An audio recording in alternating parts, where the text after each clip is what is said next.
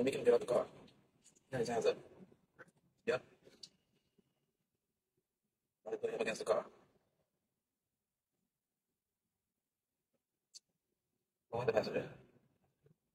Yeah. Nope.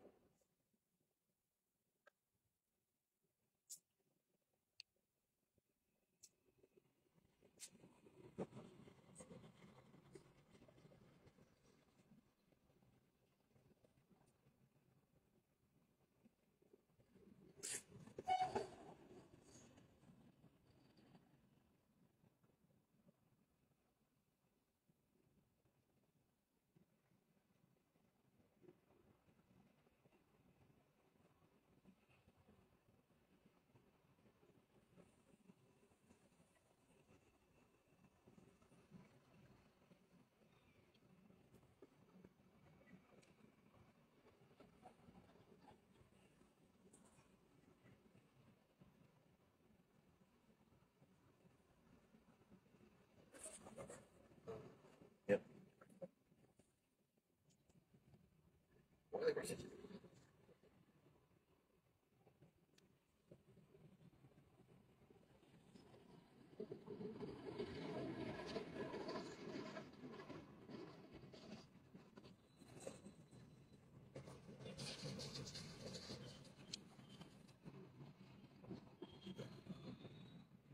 other